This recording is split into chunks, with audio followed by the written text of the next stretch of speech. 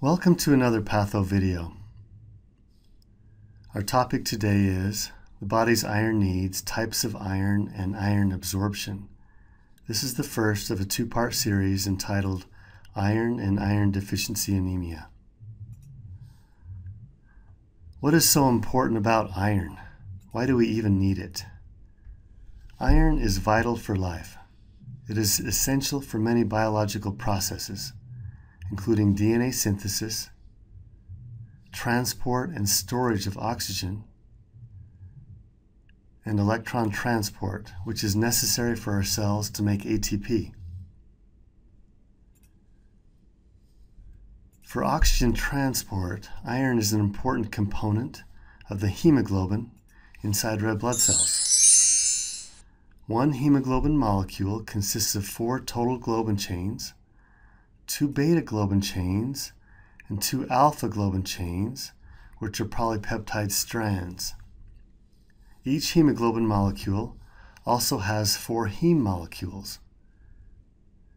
The heme is an organic molecule made of carbon atoms attached to hydrogen and some oxygen and nitrogen atoms. Iron is in the form of Fe2+, also known as ferrous iron, located in the middle. Notice the double bonds with every alternating carbon. This is what gives the heme its color.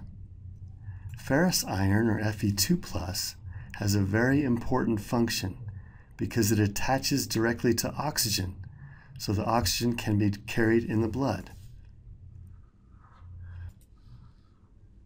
Both hemoglobin and myoglobin contain iron. Whereas hemoglobin is found in the blood and is necessary for oxygen transport, myoglobin is found in muscle cells and is important for oxygen storage in muscle cells. Iron also is an important component of cytochrome enzymes that are iron-containing heme proteins. They are embedded in the inner membrane of the mitochondria and are involved in transporting electrons for the generation of ATP. Highlighted are some of the iron-containing cytochromes of the electron transport chain. At any given moment, there are about 4 grams of iron in the adult human body. How is this iron distributed throughout the body? Primarily, the iron is in hemoglobin. Secondarily, stored as ferritin in various cells, especially in the liver. Muscle cells use myoglobin to store oxygen inside cells. Of the average 10 to 20 milligrams per day ingested in the Western diet, 1 to 2 milligrams is absorbed into the blood and then transported bound to transferrin for use throughout the body. Most of the body's iron will be used in erythropoiesis in the bone marrow to make the hemoglobin for new red blood cells. Iron is recycled quite efficient, efficiently in the body, but about 1 to 2 milligrams is lost per day in the shedding of skin and mucosal cells of the GI and genitourinary tracts. There are two forms of dietary iron, heme and non-heme. Heme iron is Fe2+, surrounded by an organic molecule. Heme iron is the form that is more readily absorbed and comes from hemoglobin and myoglobin that is found in animals so meat is a good source. Dietary non-heme iron, inorganic iron, Fe3 plus or ferric iron, is less readily absorbed and comes mostly from plants. Good sources of non-heme iron include enriched breakfast cereals, lentils, beans, tofu, leafy greens, seeds, nuts, and wheat. Iron is swallowed and enters the stomach from the esophagus. Fe3 plus or ferric iron and heme iron enter the duodenum where they are then absorbed into the blood. Certain foods will affect the absorption of iron. Some foods increase the absorption of iron, like foods with lots of vitamin C. So if you eat your steak with things like orange juice, strawberries, or broccoli, you'll be increasing iron absorption. Some foods and beverages do the opposite. Caffeinated beverages and calcium rich foods like dairy products will decrease iron absorption.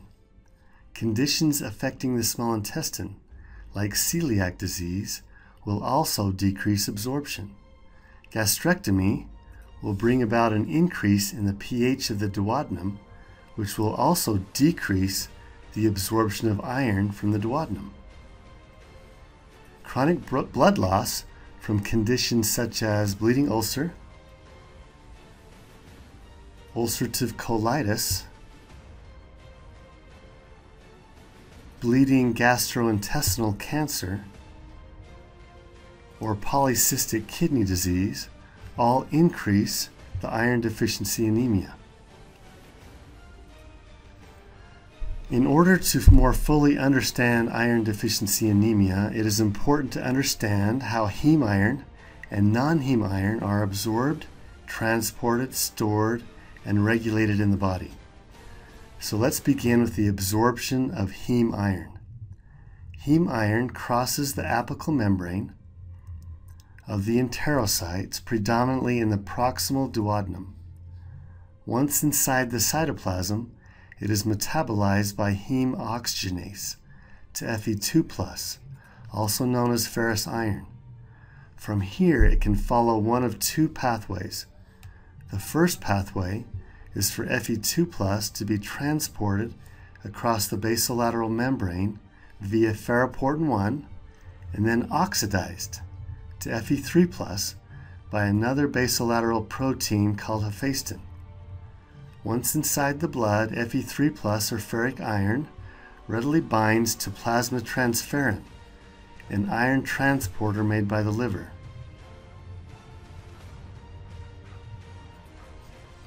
The second pathway is for Fe2 plus or ferrous iron to be oxidized to Fe3 plus or ferric iron and then stored as mucosal ferritin.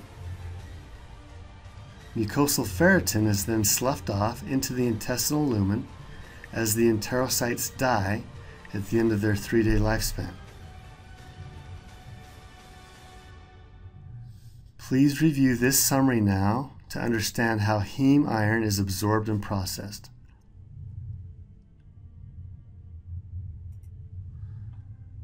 What about absorption of non-heme iron? Non-heme iron, also known as inorganic iron, is mostly in the ferric or oxidized state as Fe3+. In order to cross the apical membrane, it must first be reduced to Fe2+, or ferrous iron. This is done by ferroreductases. One of the more well-known reductases is known as duodenal cytochrome B and is found in the apical membrane of the enterocytes. After reduction, ferrous iron crosses the apical membrane via divalent metal transporter 1, or DMT1, with hydrogen ions. At this point, Fe2 may follow either of two pathways. It may be incorporated into mucosal ferritin as Fe3 and lost in the feces, or Fe2 may leave the cell through ferroportin 1 and then be oxidized to Fe3 by hephaestin and transported in the blood by transferrin. Please review this summary now to understand how non-heme iron is absorbed and processed. This concludes the video on iron and iron deficiency anemia part 1. Thanks for watching.